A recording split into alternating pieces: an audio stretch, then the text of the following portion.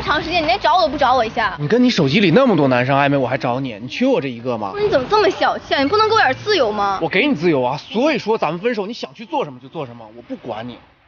哎，这是你车呀？不是你什么意思呀？啊，这是我买的水果，你尝尝。我怎么知道你买车了呀？没有，我只是帮我朋友停个车。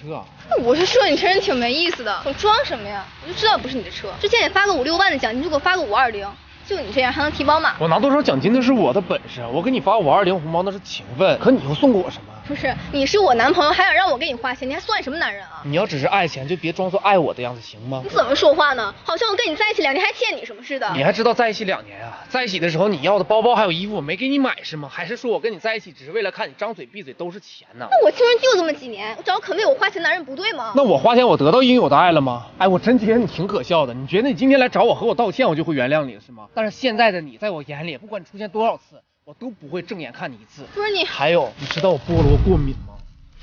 要不你们再分开聊一下吧。我为了来这个城市陪他，抛弃了我原本那么好的工作，结果他整整冷暴力了我十天。我当时跟他说分手，当天立马就答应了。那几天我根本就不想理他，是他自己坚持不住才跟我分手的。那些想要离开的人都是计划好的，凭什么让我再一次受伤害？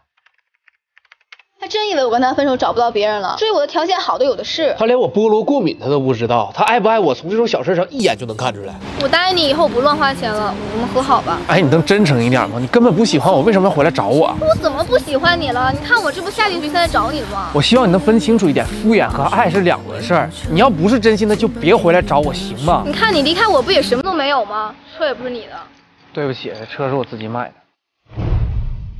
你什么时候买的？我跟你在一起的时候，我希望把我的钱留下来给咱们结婚买房子用。但是你只在乎我拿了多少奖金，给你转了多少钱，但是你从来没有考虑过我这两年对你有多认真。识相点就别缠着我了。哎，你就不能再给我次机会吗？我给过你机会了，是你自己没有珍惜。在我喜欢你的时候，你对我漠不关心，现在上赶着来找我和好，我凭什么还要选择你啊？乞丐。